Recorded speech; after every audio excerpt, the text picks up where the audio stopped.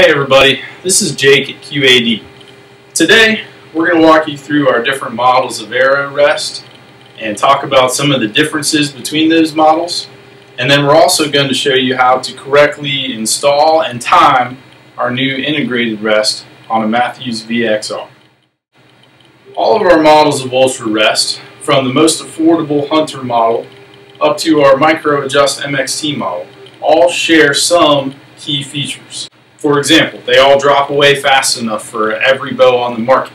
Secondly, they all have the full containment feature, where when you lock the rest up to the 80 degree capture position, your arrow is fully contained between the capture bar and the launcher floor. So whether you're spot and stock hunting for elk or climbing into a tree stand, you know your arrow is not going anywhere. While they do all share some features, as you move up the line to higher end rests, they do come with additional features. For example, when you jump up to our LD model rest, it does have the lockdown technology, which prevents any possibility of a bounce back situation. And it also comes with our full lifetime warranty. You jump up to the HDX model, has all the same features as the Hunter and the LD, but it's also lighter and quieter. Um, again, comes with our industry-leading lifetime warranty.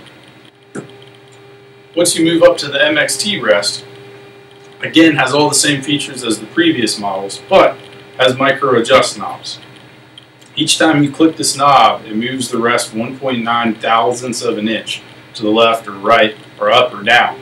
Um, this becomes huge when trying to make precise adjustments in uh, walkback tuning or French tuning or even gap tuning broadheads. So MXT is for the serious archer who demands the best and needs more precise adjustments.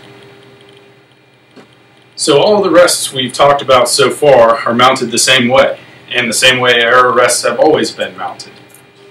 With mounting bolt through a mounting block and screwed into the side, Berger button hole on the riser of a bow. But what if there was a better way to mount a rest to a bow? Wouldn't we want to switch and, and mount rests this newer, better way? Well, there is a better way, and we found it. Our new integrated mounting system is the future of how arrow rests will be attached to bows. No more mounting bolt, no more mounting block. The integrate is a seamless integration between the riser and the rest, so making it the most secure mounting method available. It's two times stronger with its dual clamp technology, 60% lighter than other micro adjust rests on the market, and is also has an auto level technology where it cannot be tilted or twisted or pivoted. It is always level to the back of your riser due to the auto level technology and the integrated mounting system. So, the first step to installing an integrated rest is to remove this outer shield. You can use the included Allen wrench to loosen the screw. And the shield will come right off. Now you have access to a smaller Allen screw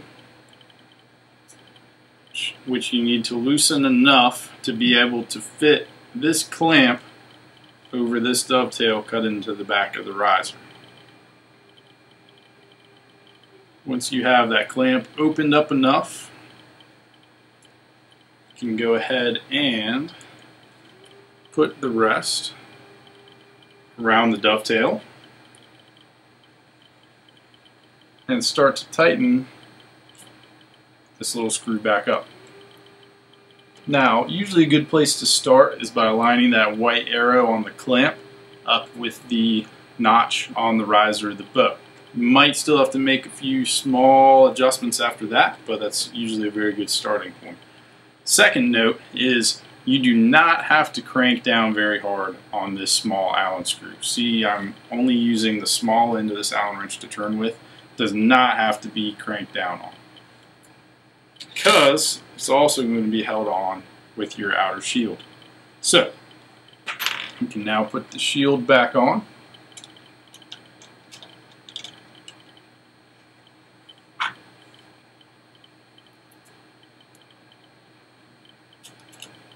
and tighten the larger Allen screw.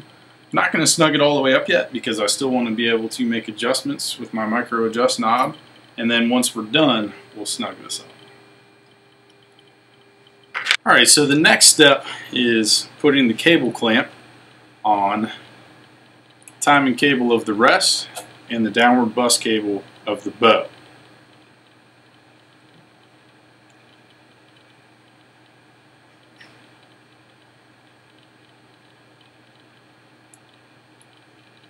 Put both strings through their individual slots.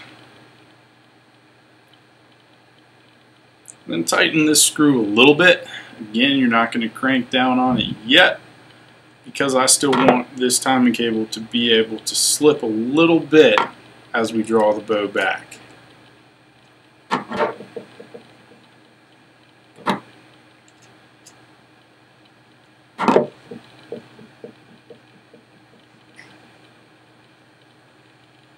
Alright, the next step is to time the rest.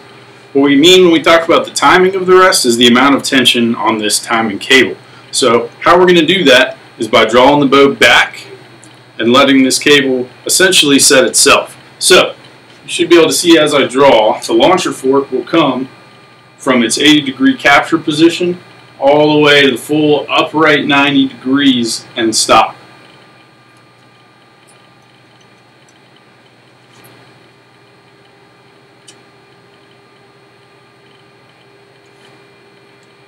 Alright, so that should be the right amount of tension on that cable.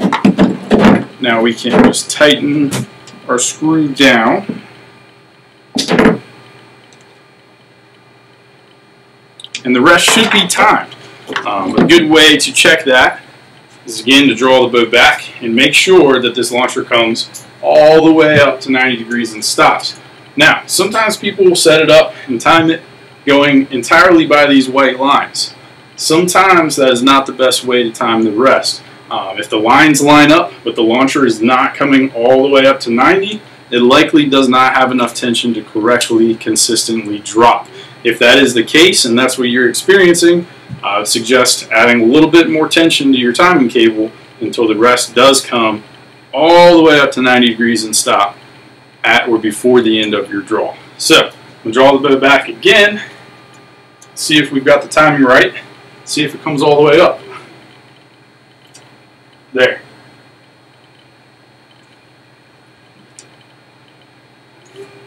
Perfect. Now our rest is timed. You can cut the end of the timing cable off fuse it or whatever you want to do. And uh, move on to paper tuning. Should be ready to shoot.